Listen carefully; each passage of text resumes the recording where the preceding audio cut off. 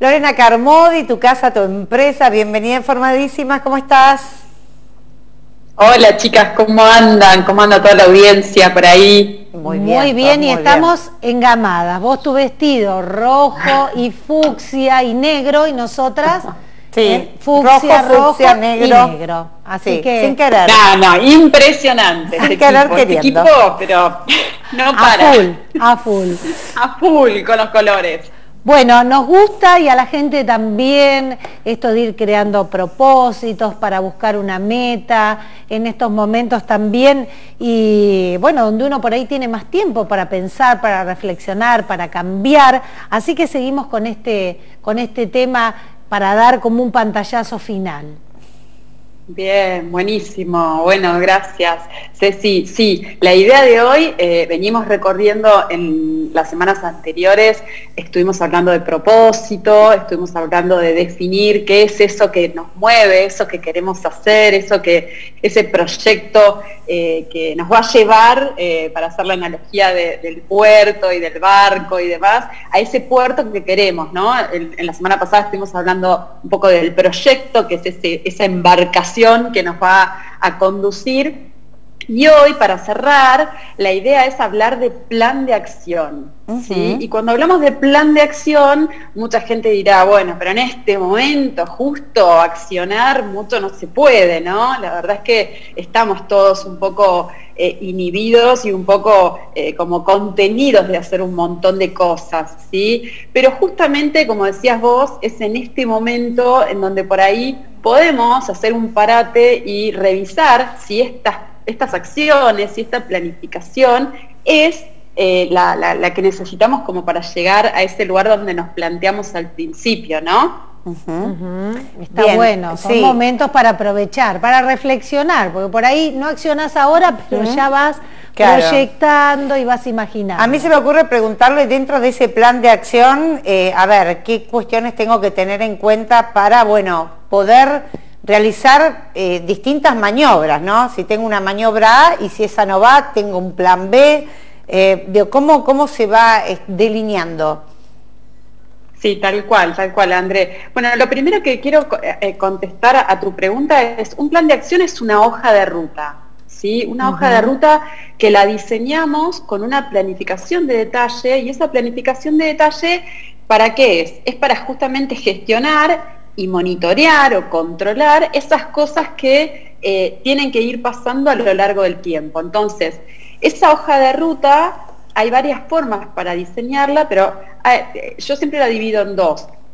La primera parte tiene que ver con eh, todo lo que sale bien, ¿no? O sea, decimos, bueno, hago A para que después pase B, para que después pase C, supongamos que tiene que ver con eh, la apertura de un negocio o la apertura de un emprendimiento, ¿no? Entonces, bueno, voy a, ya en, las fases anteriores analicé mi audiencia, ya eh, supe o sé a quién voy a dirigir más o menos eh, la comunicación y empiezo a diseñar más de detalle cuáles son esas cosas que tengo que ir haciendo en esta primera etapa.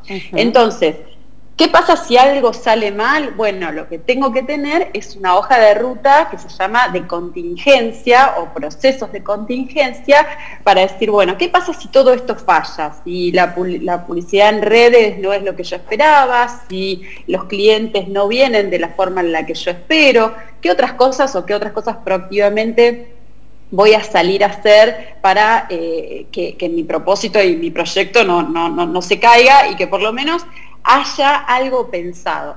Por eso es que es súper importante en esta instancia, la de, yo siempre le llamo al plan de acción, es la acción antes de la acción. Porque cuando en este momento ya llegamos como con muchas ganas de hacer, ¿no? Cuando uno, sobre todo cuando uno no viene del palo de los procesos y de, mucha cabeza y mucha estrategia. El entusiasmo te avasalla. Mm. Tal cual, tal cual. Entonces vos decís, bueno, ya está, yo ya hice la fase 1, ya está, el propósito ya está, ya definí el proyecto, que son estas tres o cuatro etapas. Bueno, ahora ya está, ahora me voy a accionar. Bueno, este es un paso previo, que es la acción antes de la acción. Entonces empezar a pensar cuáles son las cosas que tienen que ir pasando en cada una de esas etapas que vimos antes, que eran las etapas del proyecto. ¿Y qué vamos a encontrar acá? Vamos a encontrar muchas cosas que a veces se superponen. Y por ahí somos uno solo haciendo el proyecto o emprendiendo lo que sea. Entonces, esas cosas que se superponen, supongamos que, vamos a seguir el ejemplo de, si estamos emprendiendo algo, de repente tenemos que, no sé, diseñar la web o diseñar el feed de Instagram o de LinkedIn, depende de qué producto sea, o bueno, pensar en contratar a alguien o bueno, pensar en, hacer eh, determinadas cosas en, en, cámara o en videos, o bueno, y, todo eso empieza a confluir y, lo tenemos que hacer, o si tenemos que comprar mercadería, porque también es en el mismo momento, entonces contestar los, mensajes de la gente, empiezan a ocurrir un montón de cosas en simultáneo. Entonces, por eso es que yo digo que es muy importante este último paso, antes de accionar, empezar a ver cuáles son esas cosas que se van a superponer y cómo voy a hacer para gestionarlas. Claro, porque a veces tantas cosas juntas te, te ofusca decir, no, sí. ¿dónde me metí? No puedo con todo esto. O en base a eso también eh, eh, genera o, me hace ver, bueno, a ver, yo tengo este presupuesto, mi, mi poder de acción va a llegar hasta tal lado donde puedo recortar, qué puedo incorporar todas esas variables se pueden ponderar ahí mismo. Totalmente, de hecho el, otro día cuando hablábamos de proyecto, eh, justo una, televidente después me dijo, no hablaste, ¿y, qué pasa con el presupuesto? Justamente era un tema que me había quedado de proyecto, claro. de, la, de la instancia anterior, pero que sí, es súper importante, porque bueno, tengo que saber, como decís André, con qué presupuesto cuento y cuál, o sea, y cómo lo voy a administrar, ya sea de que no tenga ni idea de números o que alguna idea mínima, decir, bueno, si tengo 100 y tengo que administrarlo de alguna forma como para que para hacer estas tres cosas me alcance y pueda vivir y, bueno, y sobre todo entendiendo de que en general el que emprende eh, además necesita vivir, ¿no? Mi papá tenía una frase que decía, mi papá decía, con plata es muy fácil hacer negocios, lo inteligente es hacer negocios sin plata. O ese plan de acción también muchas veces puede ser, Lorena, como para, bueno, captar eh, un posible socio, un potencial inversor. Tal cual, tal cual. En este plan de acción vos ya sabés a qué público te vas a ir. Vos si las otras dos etapas están claras, este plan de acción es como, eh, no sé si queda bien que lo diga, pero es como que sale por un tubo, porque vos en realidad ya planificaste un montón de cosas antes y si, y si eso lo hiciste, entonces ya sabes qué presupuesto vas a necesitar, por ejemplo, para decirle a un colega, a un amigo, a un familiar, che, ¿te interesa invertir en esto? Voy a comprar X cosa porque mi idea es venderlo acá, que esto no hay. Y ahí, paréntesis, hay que tener mucho cuidado cuando uno va a incorporar un socio a un proyecto. Hay que tener mucho cuidado, hay que investigar un sí, Ahí, ahí tal cual, ahí un, tema que ya hemos hablado, que otro día lo vamos a profundizar, justo hoy preguntaba yo a la audiencia, así que aprovecho para también en este espacio que la gente que, quiera que, tratemos algún tema en particular, sea de coaching, sea de organización, de, los temas más o menos que estamos hablando siempre, nos propongan o les propongan o les dejen escrito en, algún mensajito y después ustedes me lo pasan. Porque ahí el tema es, un tema re lindo, pero es un tema de acuerdos, ¿no? Y de poner en palabras qué es... Eh, lo que yo espero del otro, qué es lo que le pido en concreto al otro, si es una colaboración económica es una cosa, si es una colaboración económica y además esa persona tiene que ocupar un rol dentro del proyecto, es otra, ¿no? Y, dejarlo como muy en claro, muy blanco sobre negro. Y escrito en lo posible. Escrito, tal cual, sí, sí, sí, porque esas cosas, no, a veces eh, traen otras, eh, otras situaciones. No sé, ¿seguimos o, tenemos que hacer un, corte? Sí, tenemos que hacer un cortecito, ¿eh? así que dejamos lo último para, para dentro de un ratito, de un ratito, así tenemos más Carmodi porque nos gusta. Nos gusta tenerte, Lore, nos gusta porque nos haces pensar y a la gente también le encanta. Así que hacemos una pausa cortita, ya venimos.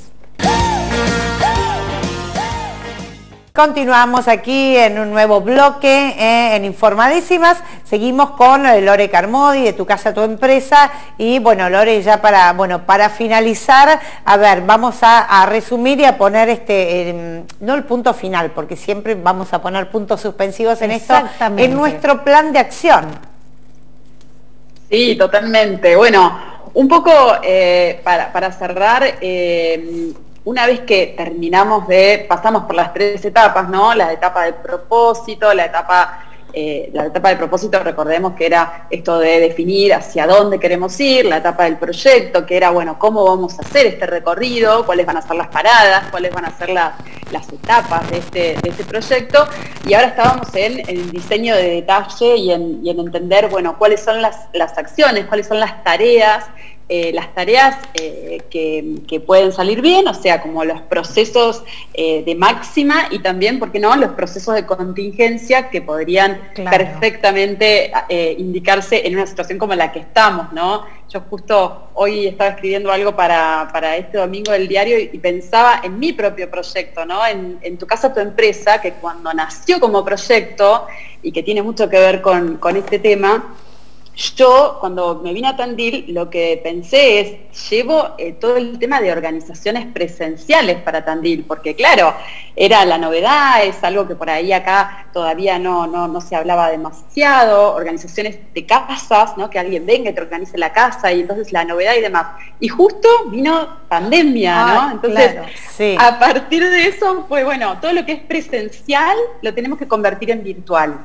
Bueno, entonces, ¿cómo a partir de una idea que yo tenía muy claro que sí quería seguir con esto, más allá de que no se podía hacer presencial, bueno, le busqué la vuelta, empecé a hacerlo virtual, empecé yo misma también a aprender cómo hacerlo virtual, con la cámara encendida, dada vuelta, guiando a mis clientes, ¿no? O sea, fíjate tal cosa, fíjate acá, mostrame tal otra, eh, ejemplificando con algún canasto, con alguna caja de zapatos, o sea, eh, lo que sea, pero bueno, pasándolo al modo virtual, cuando por ahí hace dos años me lo preguntaban, yo les decía, ni loca, eso no se puede hacer virtual, ¿no? Claro. Entonces, bueno, pero justamente esta planificación, este plan de acción, habiéndolo tenido diseñado y sí sabiendo a quién le estaba hablando, a quién me estaba dirigiendo, qué era lo que yo quería transmitir, cuál era el, valor agregado de mi servicio y por qué, o sea, o sea, qué es lo que yo siento que le puedo agregar al otro y desde qué lugar, bueno, lo pude convertir. Entonces, y ahí funcionaría perfecto decir, bueno, este es, esto es una acción de contingencia, que ya cuando se pueda volver a la presencialidad, volveré a hacerlo de manera presencial, ¿no? Eh, entonces, y, y, un punto final, por ahí una vez que terminamos de trazar todo, sí que por ahí nos llevó un par de semanas, un par de días, depende cuál sea la urgencia que tengamos, repreguntarnos, ¿realmente esto tal como quedó? Hacernos como una pregunta a nosotros mismos, a nuestro corazón, a nuestro interior, ¿esto tal como quedó es lo que yo imaginaba? ¿Le falta algo más? Eh, ¿Le puedo agregar algo más? Siempre mm. pensarnos nosotros como seres completos, íntegros, ¿no? Eh, y que somos la suma de todas nuestras experiencias, únicos, ¿no? Entonces, desde esa, desde esa lente, desde esa mirada, decir, bueno, ¿qué más le puedo agregar yo como mi sello personal a este mm. servicio que, estoy eh, pensando en brindar. Y un eh, consejo, le agrego a eso, Lore, llevarse anotador, lápiz, papel o, celular, herramienta que tengan a la noche, porque a la noche te acostás, cerrás los ah. ojos, empezás a pensar y por ahí te llueve esa idea que cae justo y la tenés que plasmar, porque al otro día no te lo acordás. Así que está bueno tenerlo ahí en la mesita de luz. Totalmente, totalmente. La anotadora a la noche, la anotadora a la mañana. Yo que soy mamá de nenas chiquitas por ahí, a las 3 de la mañana se despierta una de mis nenas, me desvelé y por ahí es esa hora donde escribo, pero a, la, hora que sea, como decís vos, el anotador, el celular, demás, y todas las cosas que se nos van viniendo a la Dejarlo ahí anotado. escribirlas, bajarlas al papel, al celular y, eh, y bueno, ponerle todo lo mejor, como siempre digo, la mejor onda a este momento y usar este momento en beneficio eh, personal, en beneficio nuestro, de nuestra familia y usar este momento, capitalizarlo de la mejor manera para nosotros mismos. Sin duda. Muy bien. Lore, te mandamos un beso enorme y bueno, que tengas una linda jornada. Bueno, muchas gracias. Un beso muy grande para todos ustedes ahí en el piso, para la audiencia y bueno, muchísimas gracias por este espacio. Por favor, eh, tu casa, tu empresa, Lorena Carmodi.